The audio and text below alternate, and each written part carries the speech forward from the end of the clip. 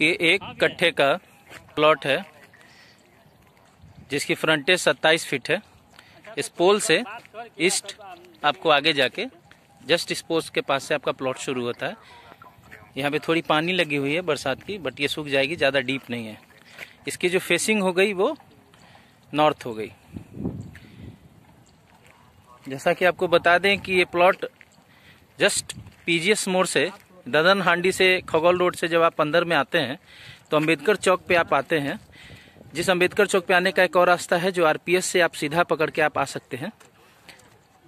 और वो सीधा आके आरपीएस इंजीनियरिंग कॉलेज के पास मिल जाता है। वो इंजीनियरिंग कॉलेज जैसा कि आप देख सकते हैं।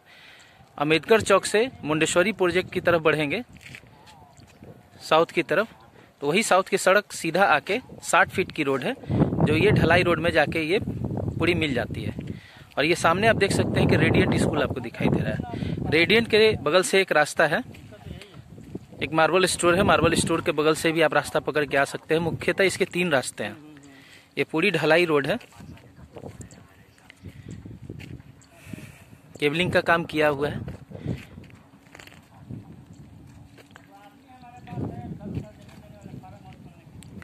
Schools colleges near by 500 metres में है मार्केट्स वगैरह सब आपको अवेलेबल है यहाँ पे।